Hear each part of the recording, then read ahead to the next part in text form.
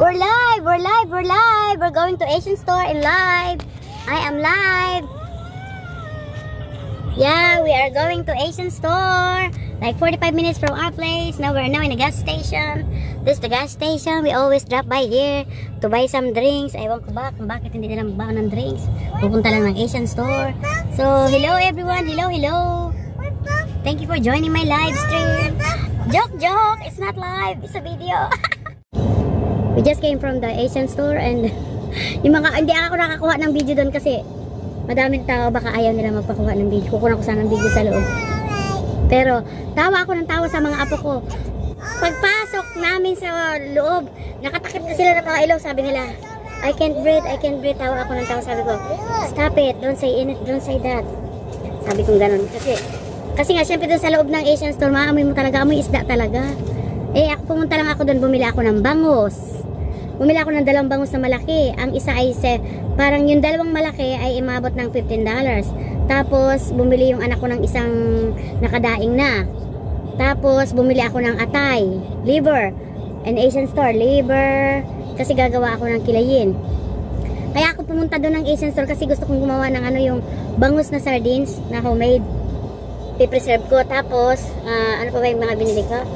Ah, mga gulay, ampalaya, okra, sili, bok choy, ah, bawang, kamote, ang dami kong ginabili. Kukunan ko din ng picture mamaya. So, tawa ko, hindi na ako nakabili ng olive doon kasi dun sa sardinas na bangus na gagawin ko, kailangan ng olive oil at saka olive. Kaya pumunta kami dito sa Payless, dito bumili yung anak ko. Kaya nasa sasakyan kami, hinihintay lang namin siya kasi siya na yung bumili ng Payless kasi, sa Payless kasi hindi na kami sumama, para hindi na kami lumabas. Kasi mga apo ko ay ano. Ah, naaamoy ko nga, ang, ah, naaamoy ko pa. Grabe yung Asian store na yun talagang amoy, amoy isda talaga. So, see you later guys. So, ito yung bangus. Bangus nga ba? Ha? There's nothing inside.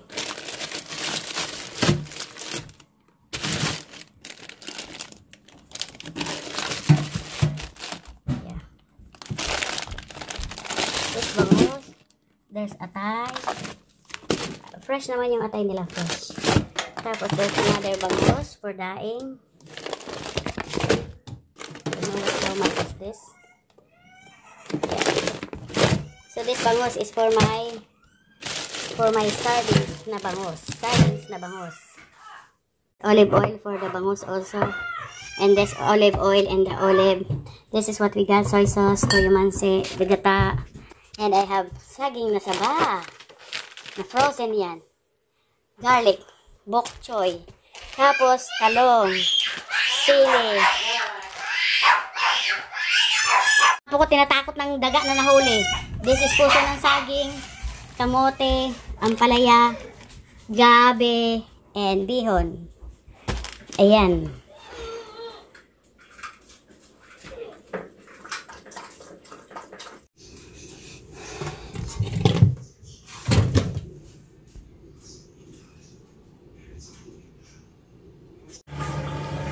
Ito na yun. Kailangan lang natin linisan. Tapos, ibababad natin siya ng 30 minutes to 1 hour in a salty water. We'll leave it for 1 hour. Bago natin siya timplahan at lutuin ng matagal para maging sardinas. Ito na yung bangus. Malinis na siya. This is the salty water. I put 1 cup of salt. And then we're going to soak it for 1 hour there.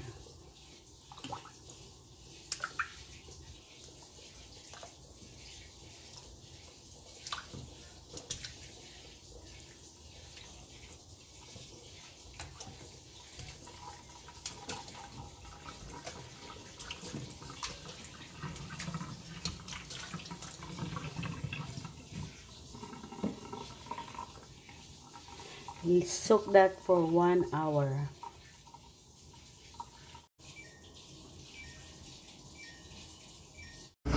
So, ito na yung ko ng 2 hours and uh, 1 cup of salt here. So, we're going to uh, ready ready this one to put it here. And all the remaining ingredients over here. This one. This is garlic chili. This is the... Di ba ito yung, yung leaves. Nakalimutan ko na ito. Ano ba tawag sa leaves na ito? Salt again. And then the olive oil. Ay, eh, olive. And this is the olive oil. Pepper. And then we're going to get the carrots. We're going to slice the carrots first. And then the chili. So, ito na tayo guys. Gagawin na natin yung pinaglalawayan ko na sardinas na special sardines na bangos. So, let's do it. Tanggalin na natin sa brine.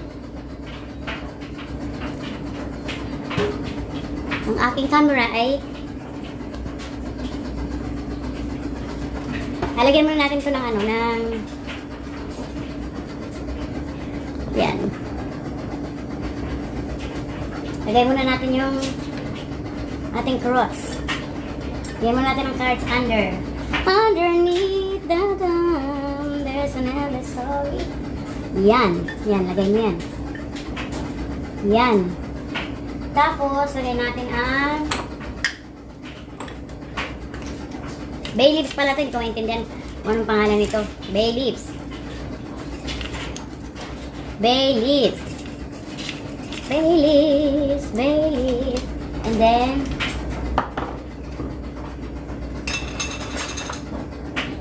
we're gonna put some of this. Na kayo. Ang sarap ng lasa nitong olive oil. Olive na to. I probably use the brine later. The brine. This is special olive oil. Ay, this is special olive. Queen of olive. Yeah, queen of olive siya. Sige ha, queen of olive siya. Yan. And then, we will put this. We buy this $5. This one. Yan. Yan. Yan. Yan. And then, we're gonna put the peppercorn. Peppercorn. Yung bu... Yan.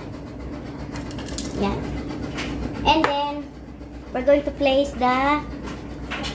Tanggalin na natin sa brine. Sa brine. Kamada na natin sa here. And then, I will cook this for the whole night. Dito sa slow cooker. We're gonna cook it in the slow cooker. Maalat na lasa nito kasi nababad na to, babad na babad na.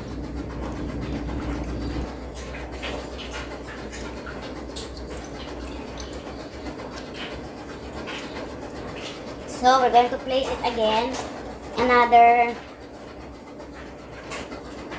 another of this one. Yeah. And another of this. Yeah. And some of olives again. Asayado kami yan nasa olives. And then, peppercorn.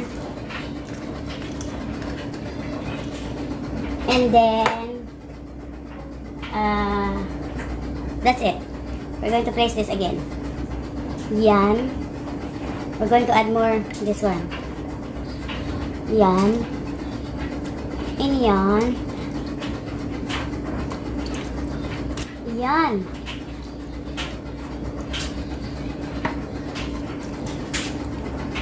Yan. Ubus na. Ito na yun. So, ito na yun guys. Ilalagay na natin lahat ng kasangkapan. Yan. We're going to put all this one in there. Everything. And then more garlic. Mura ng garlic na.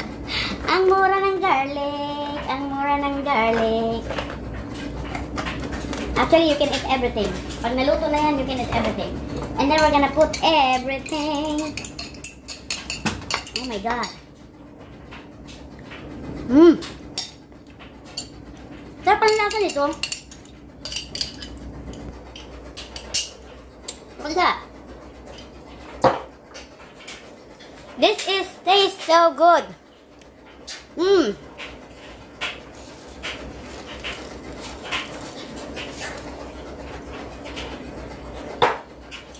And we're going to put this pickle. The tiny pickle pickle.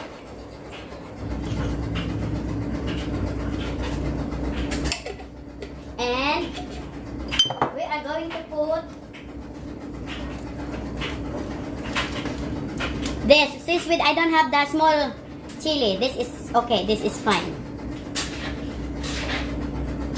Oh my gulay. Oh, oh my gulay. Yeah, that one. And then, this is it. We're going to put everything. This one.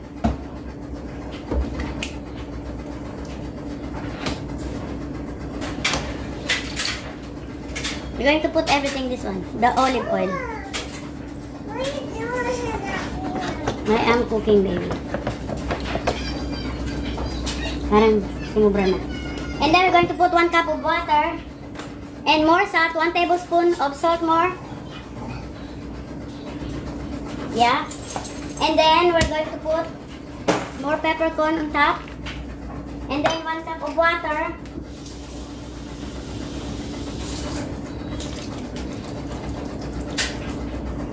Yan, kailangan naka-level. Level yung oil. So, we're going to put some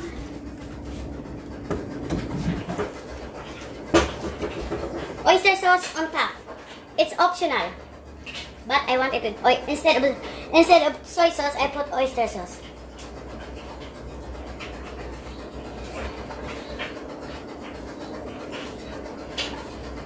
So this is it. You're gonna see this tomorrow. I'm gonna cook it the whole night. So we're going to put the cook it cook it for eight hours. I will check it on uh, six hours. I'll uh, I'll put it in six hours first. No. Yeah, six hours. So this is on already. We'll check it tomorrow or later on midnight. After three hours, titingnan natin. Pero mabukas pa itong umaga.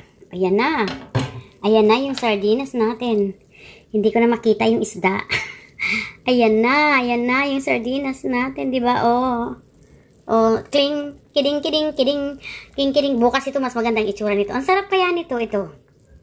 This is, this olive is so delicious.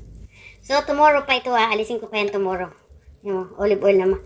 Talagang, ang, ang sardinas talaga. Healthy naman yung olive oil. Tinan mo, ang daming olive oil, oh. Ang daming olive. Anong nangyari? Tapos ito, pwedeng kainin ito.